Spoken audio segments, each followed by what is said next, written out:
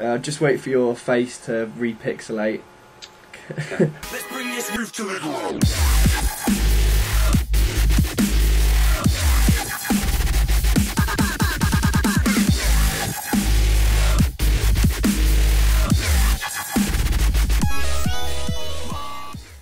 Hey guys, just a quick note from me before we get going. Uh, you're probably wondering why this episode is so much shorter than all the other producer spotlights. Well, that is because Skype is an absolute bellend. And when we were doing this interview, it just kept cutting out, our connection was awful, and as you will see, we had some issues with video and audio sync, and it was it just got funny after a while. But yeah i've had to cut a lot out because you just couldn't hear what was going on. And yeah the questions weren't followed by answers most of the time uh, so in the effort to make it watchable i've had to cut a lot out however what we do have is good um, and there is a slight audio sync issue and volume issue in the first five minutes, but it does sort itself out. So if you can stick through the first five minutes, you will be fine. And uh, also, another reason why it was quite short was because uh, he was using his iPhone, and I didn't want him to have to stay there like holding it in front of his face like that the whole time. Uh, so yeah, it is a bit shorter, but hopefully it's just as sweet. And yeah, I'll let you get on and enjoy it. Cheers. Hello and uh, welcome to Producer Spotlight episode 4. Today I am joined by Joel Hunt, aka Rogue. Hey. Now, uh, for those of you who are new to my Producer Spotlights, um, I'm just going to reiterate that some of the questions will be about actual production, but um, there's also going to be a lot of uh, more varied questions that aren't focused on producing so that you can get to know the guy behind the music as well as how he makes it. So uh, let's start with the basics. Um, how old were you when you started, you know, making music? Uh, well, since I was basically four or something, um, I got a keyboard for Christmas one time and uh, started playing little tunes and but um, I uh, started really kind of getting interested in music. I was in year seven, just like when I was eleven or twelve, and I started just learning like keyboard on my own and guitar and stuff. Yeah. Yeah. Uh, I remember the first kind of um, music software that I got was in a cereal box, and it it was like eJay, I think it was called. Um, but yeah, I love that. Uh, so what what are you using nowadays then, and why? Um, I'm using FL Studio, and that's because that's what I was. Well, my, my friend gave me um, FL Studio when I was like in year twelve or something. I was when I was like seventeen, and um, yeah, I just started messing around on it, and that's what I've stuck with. Um, What what made you choose the name Rogue? Um, well, basically, I was I was making music as just Joel Hunt, and I wasn't releasing it or anything. I was just kind of just making music, and and then uh, I thought, right, I'm gonna kind of make an artist profile, and I was just, just trying to search for a name for about a week, and then I just I saw it, and I started. There's a lot of people called Rogue already, but I was like, I'll beat them. You'll be the Rogue. Yeah.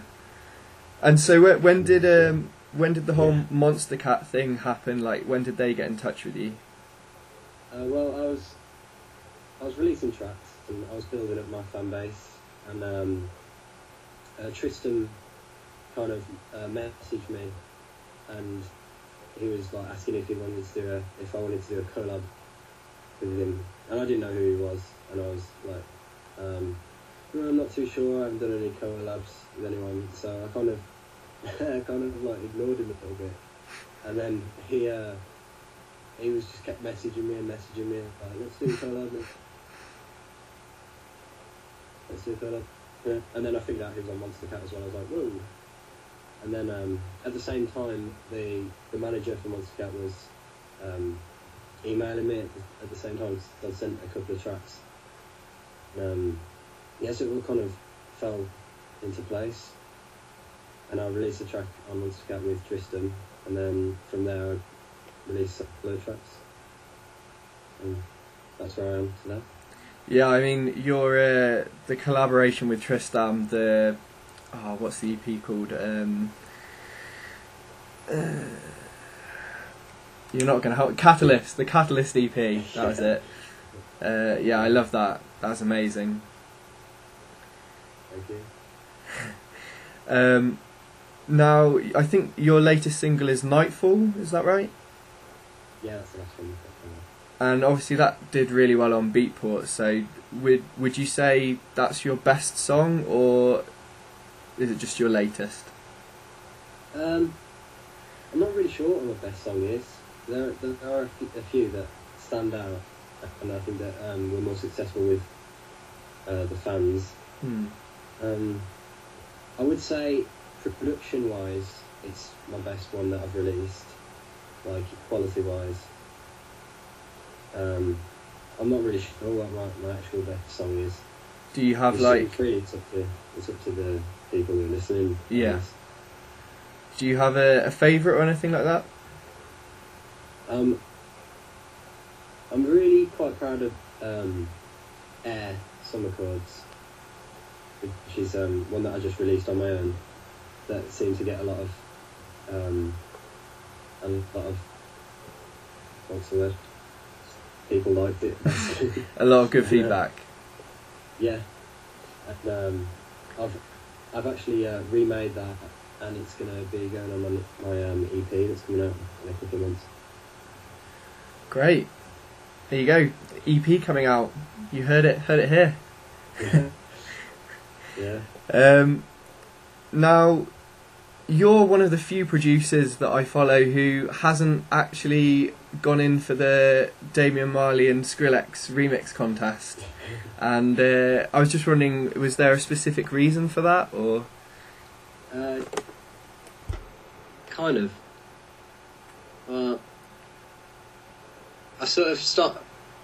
I, I saw the remix competition and I and I thought I, I saw a few remixes and I was I was like, right, okay, this is going to be pretty big, and literally everyone is going to enter it. So I was like,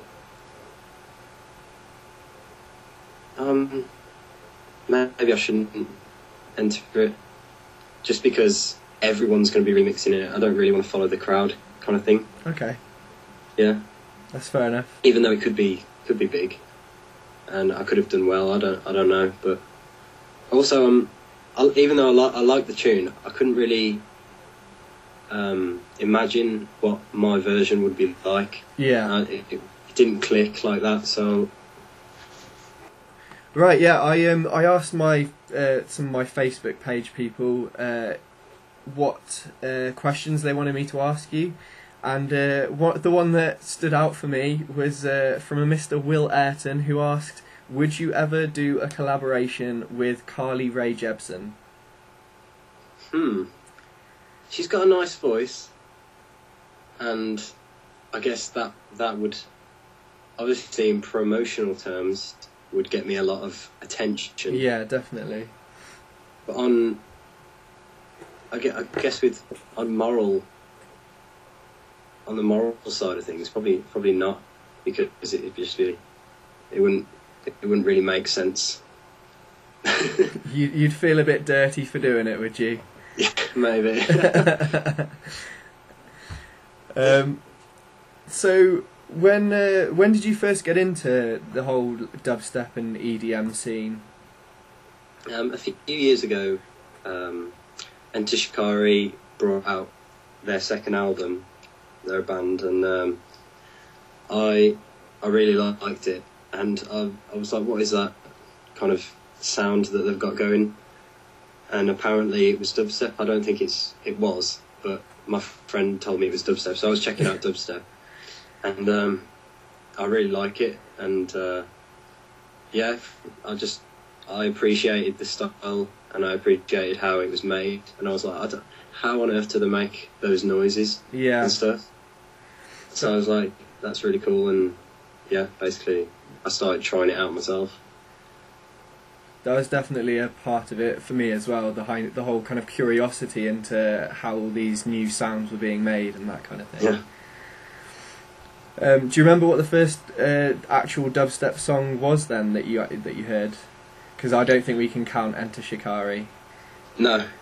Um, I think it was this. I'm not sure who it was by, but it had like a sample saying um, something about milk. It like it could, it could be our milk. Um, no milk could ever be our milk. And then it's like blah blah blah blah, and I was like, awesome. That's a very obscure uh, first song to hear. It sounds like Yeah. some kind of joke remix of a like Cravendale advert or something. yeah, I don't know what the sample was from either. I was just, I just, I just found it interesting though. Yeah. It's kind of back in the in the early days of dubstep when it was kind of a lot more dark and minimal. Yeah. But yeah, it was like that type of song. I see. I did it the other way around. I, I started off with the more, um, I guess you'd call it what what what's nowadays more mainstream dubstep, and then I got Yeah. backtracked into the kind of older Rusko and Skream and that kind of thing. Yeah, Um, now your your your music, you don't just kind of create dubstep. It's like lots of genres uh, that you go Mm. into. Um, so if if you could take any song from all time and release it as your own, what song would you want? mm, oh, that is that's a tough. One. Yeah. Um, Put you on the spot there. any any genre Yeah, ever. any Just- genre. Um, it would probably be a one of a Muse song because I really love Muse, and I just think that that they're geniuses. I don't know how they Yeah. how they do it, but um, they, one of their old tracks, uh, "Plug In Baby," or or um, uh, Plug In Baby was my favourite song for about five years. yeah, mine, and "Newborn" as well. Yeah. and Either one of those.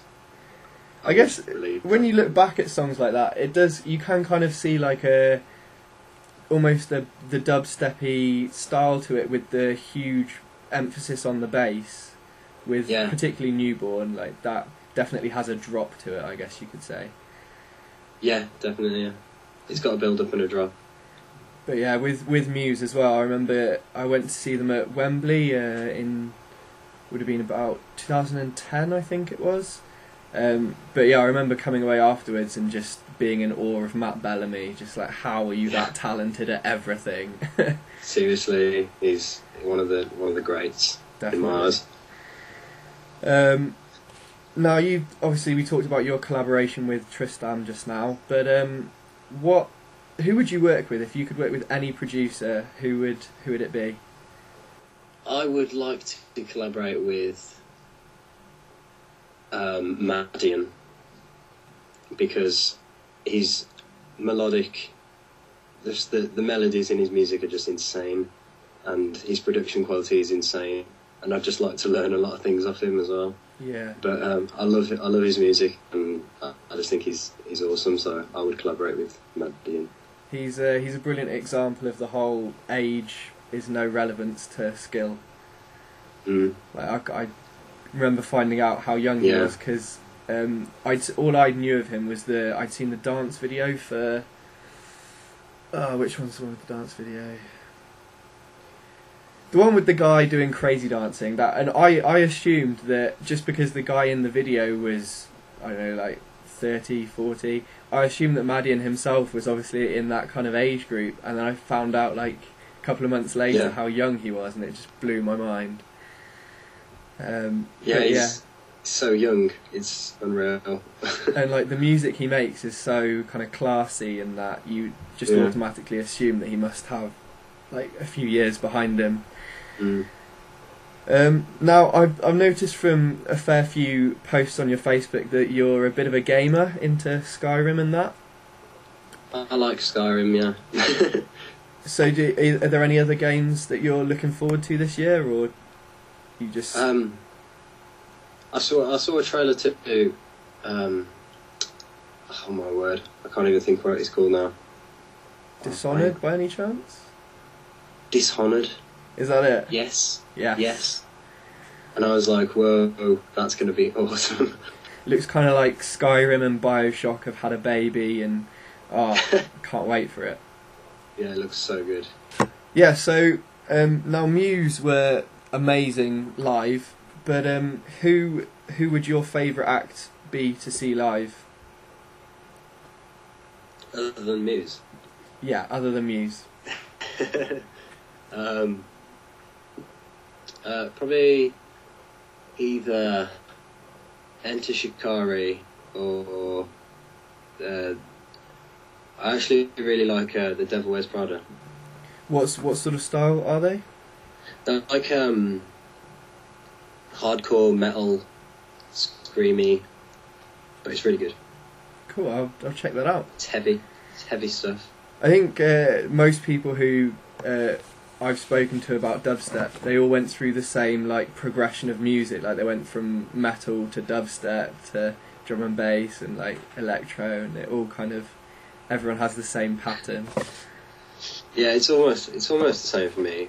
I was into kind of like indie music, and then I was into like rock, and then into metal. If they one day decided to make Rogue the movie, who would you cast to play yourself in it? Uh, I don't, well, someone who looked like me, I guess.